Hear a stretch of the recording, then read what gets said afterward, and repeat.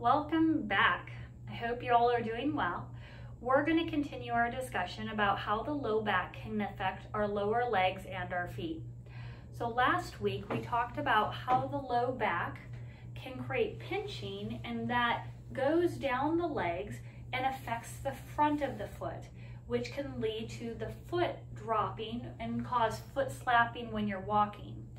Well, this can also happen where the low back gets pinched at the nerves, where the nerves exit, and it affects your calf muscle here.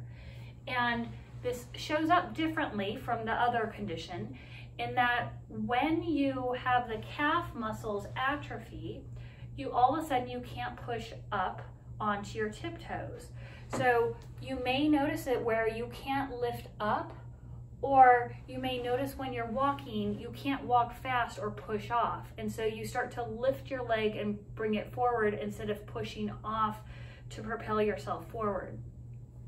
So the first one that we talked about last week, this foot slapping, you may catch it earlier because you can hear it or you may be tripping. So you may notice this more than this other condition where your calf muscle starts to atrophy and over time, you don't really notice it until you need to go run somewhere or you need to jump or go up on your toes to get something at a high counter on that high cabinet.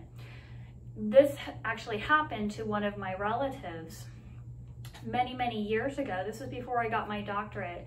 And he called me up and said, hey, all of a sudden I can't run. And he's a young guy. I think he was in his 40s at the time. And he couldn't run. And so I talked to him and I knew it was likely coming from his low back because I had taken enough coursework at that point. And I told him, I directed him to get some help and to have him work on his low back and relaxing his low back and getting his trunk into position to free up the nerve that was affecting his calf.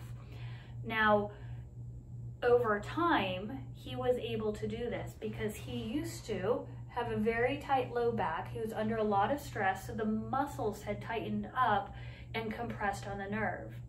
Now, he also had disc issues and degeneration, but that wasn't necessarily the cause. He had had that for many, many years, but it would just so happen that he underwent a lot of stress right before this incident. The back muscles tightened up, they compressed, they didn't know how to let go, the nerve got irritated and affected his calf.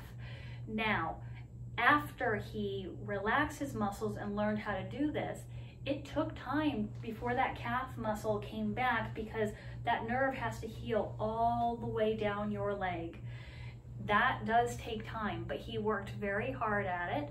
And as he could sense his back relaxing and his calf muscle kicking back in, he had various exercises that helps that muscle regenerate its strength and its activation powers. At this point, he's completely fine. He can run, he can hike, he can do anything now. But he had to learn some changes in his daily habits and what he did so that way he didn't overuse his low back muscles that caused the compression on his nerve. So you may not notice this one right away because it takes time for you to realize that you're not able to push off. So one good test every day, make sure, can you get up on your tippy toes? If so, you know at least that calf muscle's kicking in and you're on the right track for keeping yourself healthy. If you need help, please reach out to me. I'd love to hear from you. On my website, you can go to the contact page and reach out to me. Go to web, uh, pabrinstitute.com, P-A-B-R institute.com. I'd love to hear from you. Thanks again, and we'll see you next week. Bye.